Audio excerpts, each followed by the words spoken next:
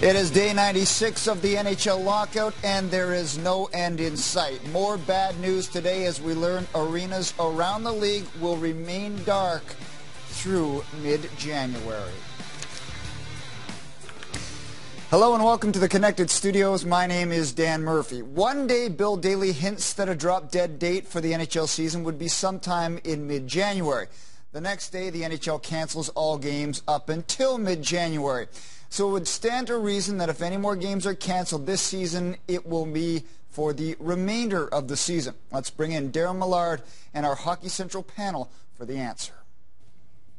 Along with Nick Kypreos and Doug MacLean, just to further this story and bring you some background information, there was a conference call today between the National Hockey League and partners, a.k.a. the sponsors. And what they were told was the National Hockey League wants to drop the puck, needs to drop the puck on January 14th. So what does that mean to the drop-dead date? Well, it means that uh, for the players now to potentially ratify a deal, uh, and, and, get some sort of training camp in. We're, took, we're looking at maybe seven to ten days prior to that. So if that's the case, maybe we're looking at a drop-dead date of getting a deal done uh, around uh, January 7th. So if the league all along thought that uh, Donald Fehr was this uh, great uh, deadline hunter, um, maybe he's got his final date, Mac. Yeah, he, he does have, and Gary Bettman has, because now it's a critical decision as to what is going to happen. I think they will negotiate through the weekend of the 4th, 5th, 6th. Let's hope before then, and a decision will probably be made Monday the 7th to cancel a season. You need, as Nick said, 7 to 10 days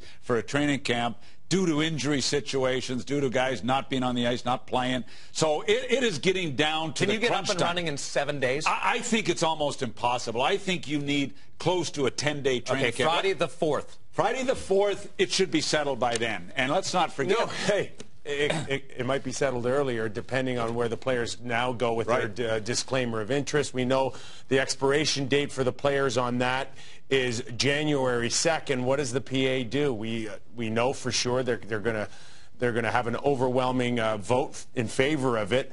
What does Donald Fehr do with that? Well, he, he makes a decision that day if he files, and the NHL would automatically file theirs, and all of a sudden the season would be over January 2nd. Let's hope that there's enough meat on the bone that these two guys will at least agree to, to continue to negotiate after the second, before the second, through the second, to try and salvage a season. And I think we've got some big-time pressure on both sides for once. No contact today. No communication. Like it's 15 days. Like it's it's we've wasted two weeks from the big show in New York where Gary lost his composure and Donald gave his speech. I mean, we haven't had a thing in 14, 15 days, and how criminal is that? And we're we're going to waste another eight to 10 games off of the schedule. We know that just to get to the date that we uh, we alluded to.